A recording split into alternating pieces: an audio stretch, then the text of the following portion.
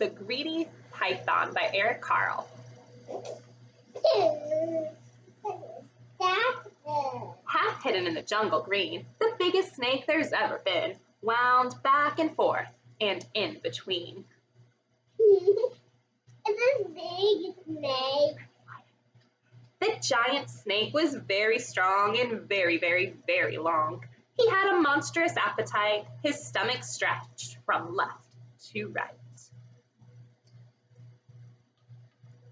He quickly gobbled in one bite whatever creatures came in sight. A mouse that scampered to and fro, a frog that jumped up from below, a bat that hung from his left toe, a fish that swam a bit too slow, a bird that flew a bit too low.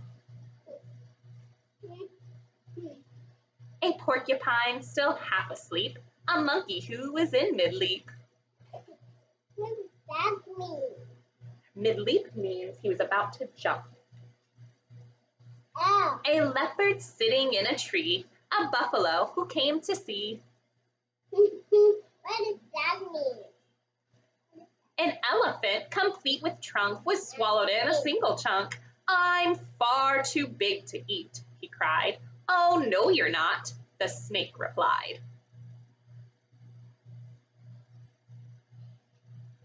At last the python's meal was done, and he lay resting in the sun. The animals inside his skin were making quite a dreadful din. And when they all began to kick, the snake began to feel quite sick. He coughed the whole lot up again, each one of them, and there were. Ten. What does that mean? He soon felt better and what's more, was hungrier than just before. He hadn't learned a single thing. His greed was quite astonishing. His, he saw his own tail long and curved and thought that lunch was being served. What does that mean? What was he about to eat? A tail. He was going to eat his own tail. That's so funny. He closed his jaws on his own rear, then swallowed hard and disappeared.